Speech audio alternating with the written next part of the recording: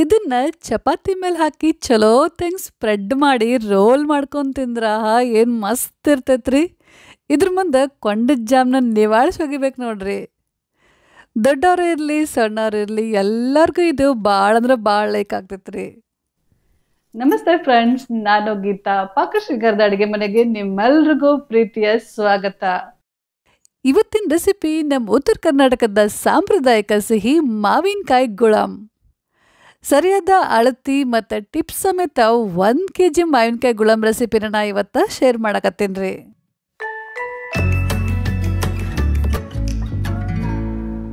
ಮೊದಲು ನಾ ಇಲ್ಲೇ ಒಂದು ಕೆ ಜಿ ಬೆಲ್ಲ ತೊಗೊಂಡಿನಿ ರೀ.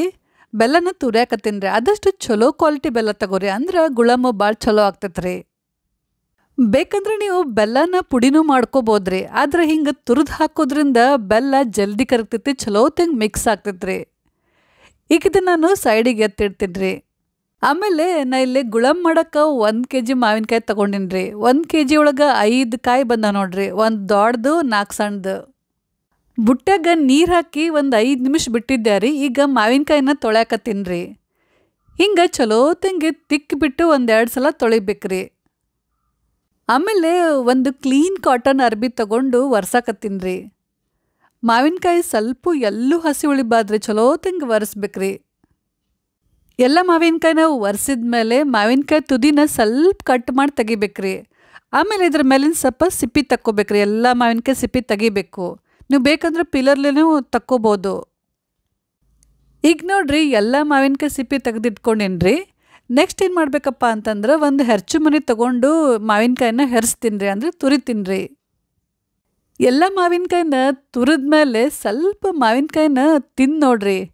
ಯಾಕಂದ್ರೆ ಮಾವಿನಕಾಯಿ ಎಷ್ಟು ಹುಳಿ ಐತೆಪ್ಪ ಅನ್ನೋದ್ರ ಮೇಲೆ ನಾವು ಎಷ್ಟು ಬೆಲ್ಲ ಹಾಕ್ಬೇಕು ಅನ್ನೋದು ಡಿಸೈಡ್ ಮಾಡ್ಬೇಕಾಗ್ತೈತೆ ರೀ ನಾ ತಗೊಂಡಿದ್ದೀ ಮಾವಿನಕಾಯಿ ಭಾಳ ಹುಳಿ ಐತ್ರಿ. ಅದಕ್ಕೆ ನಾ ಏನು ಮಾಡ್ತೀನಪ್ಪ ಅಂದ್ರೆ ಅದು ಹುಳಿ ಕಡಿಮೆ ಮಾಡೋಕ್ಕೆ ಸ್ವಲ್ಪ ಇದನ್ನ ಹಿಂಡಿತೀನಿ ರೀ ಹಿಂಡಿದ ರಸ ತೆಗಿತೀನಿ.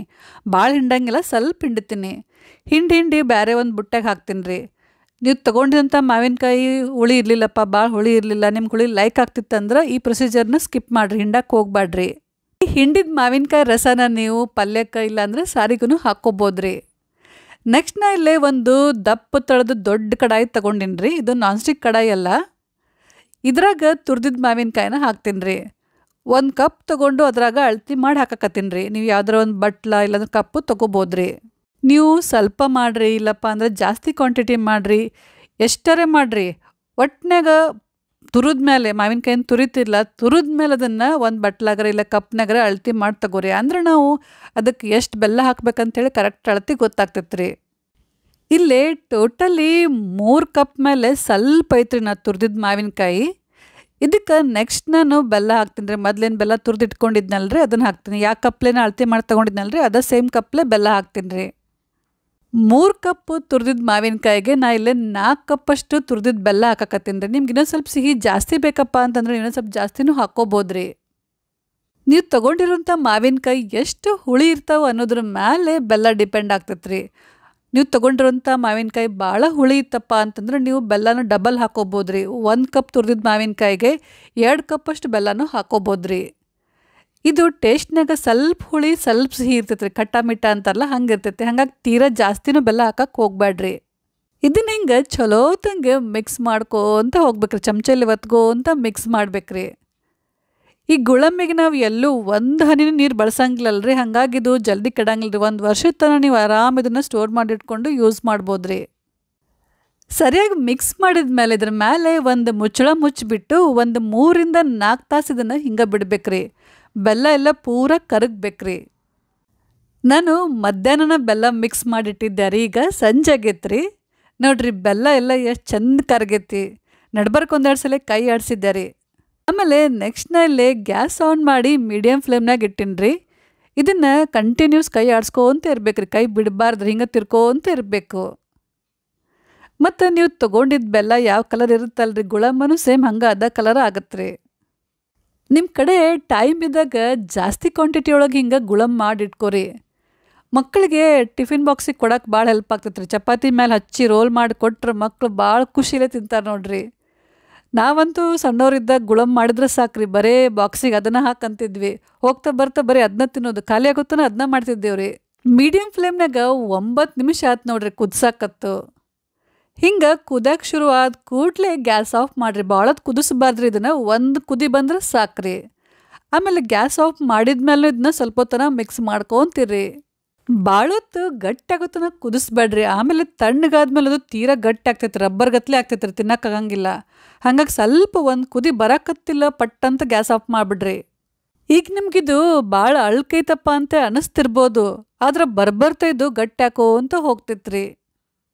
ಈಗ ಮುಂದೇನು ಮಾಡೋದಪ್ಪ ಅಂತಂದ್ರೆ ಒಂದು ಸಣ್ಣ ಕಡಾಯಿ ಬಿಸಿ ಮಾಡಕ್ಕಿಟ್ಟು ಒನ್ ಟೇಬಲ್ ಸ್ಪೂನ್ ಕಸ್ಕಸಿ ಹಾಕಿ ಹುರಿಯಕತ್ತೀನಿ ಕಸ್ಕಸಿನ ಚಲೋ ತೆಂಗ್ ಹುರಿದ್ಮೇಲೆ ಗ್ಯಾಸ್ ಆಫ್ ಮಾಡಿದನ್ನ ಸೈಡಿಗೆ ಇಡ್ತೀನಿ ಸ್ವಲ್ಪ ಇದು ತಣ್ಣಗೆ ಹಾಕ್ಬೇಕು. ಈ ಕಡೆ ನೋಡ್ರಿ ನಮ್ಮ ಗುಳಮು ಅಗಳಕ್ಕಿಂತ ಸ್ವಲ್ಪ ಗಟ್ಟಿ ಆಗೈತ್ರಿ.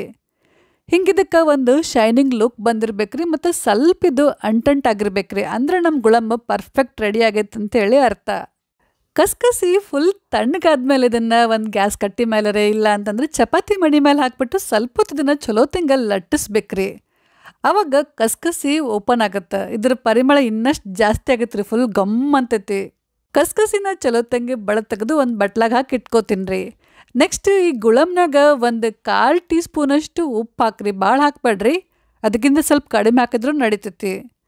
ಆಮೇಲೆ ಒಂದು ಎಂಟತ್ತು ಏಲಕ್ಕಿನ ಕುಟ್ಟಿ ಪುಡಿ ಮಾಡಿ ಹಾಕಕತ್ತೀನಿ ರೀ ಮತ್ತು ಹುರಿದಿದ್ದು ಕಸಕಸಿ ಹಾಕ್ತೀನಿ ರೀ ಚಲೋ ತಂಗೆ ಮಿಕ್ಸ್ ಮಾಡಿದನ್ನ ಪೂರ ತಣ್ಣಗಾಗೋ ತನಕ ಬಿಡ್ಬೇಕ್ರಿ. ಇದು ಇನ್ನೂ ಚಲೋ ತಂಗೆ ಸೆಟ್ ಆಗ್ಬೇಕ್ರಿ. ಈಗ ರಾತ್ರಿ ಆಗೈತ್ರಿ ಇದನ್ನು ಹಿಂಗೆ ನಾ ಮುಚ್ಚಿಡ್ತೀನಿ. ನಾಳೆ ಬೆಳಗ್ಗೆ ನಿಮ್ಗೆ ತೋರಿಸ್ತೀನಿ ಹೆಂಗೆ ಆಗಿರ್ತೈತೆ ಅಂತೇಳಿ. ನೆಕ್ಸ್ಟ್ ಏನು ನೋಡ್ರಿ, ಬೆಲ್ಲ ಎಲ್ಲ ಹೀರ್ಕೊಂಡು ಇನ್ನಷ್ಟು ಗಟ್ಟಿ ಆಗೈತ್ರಿ. ಫುಲ್ ಸೆಟ್ ಆಗೈತ್ರಿ. ಈಗ ಇದನ್ನು ಸ್ವಲ್ಪ ಟೇಸ್ಟ್ ಮಾಡಿ ನೋಡ್ರಿ. ಇನ್ನೂ ಸ್ವಲ್ಪ ಬೆಲ್ಲ ಹಾಕಬೇಕಾಗಿತ್ತಪ್ಪ. ಬೆಲ್ಲ ಕಡಿಮೆ ಆಗೈತಿ ಅಂತ ನಿಮ್ಗೆ ಅನಿಸಿದ್ರೆ ಬೇರೆ ಒಂದು ಬೊಗಣೆಗ ನೀರು ಹಾಕ್ಲಾರ್ದನ ಬೆಲ್ಲನ ಚಲೋ ತಂಗೆ ಕರ್ಗಿಸ್ರಿ. ಸ್ವಲ್ಪ ಒಂದು ಕುದಿ ಬರೋ ಕುದಿಸಿ ಗ್ಯಾಸ್ ಆಫ್ ಮಾಡಿ ಇದನ್ನು ಗುಳಮ್ನಾಗ ಹಾಕಿ ಚಲೋ ತಂಗೆ ಮಿಕ್ಸ್ ಮಾಡಿರಿ, ಅವಾಗ ಸರಿ ಆಗ್ತೈತಿ. ಸೊ ಫ್ರೆಂಡ್ಸ್ ಈಗ ನಮ್ಮ ಉತ್ತರ ಕರ್ನಾಟಕ ಸ್ಪೆಷಲ್ ಮಾವಿನಕಾಯಿ ಗುಳಮ್ ರೆಡಿ ಆಯ್ತು ನೋಡ್ರಿ. ಇದನ್ನು ಒಂದು ಗಾಜಿನ ಬಾಟಲ್ನಾಗ ಸ್ಟೋರ್ ಮಾಡಿ ಇಟ್ಕೊಂಡು ನಿಮ್ಗೆ ಬೇಕಾದಾಗ ಚಪಾತಿ ಮೇಲೆ ಮತ್ತು ಬ್ರೆಡ್ ಮೇಲೆ ಹಚ್ಕೊಂಡು ತಿನ್ಬೋದು.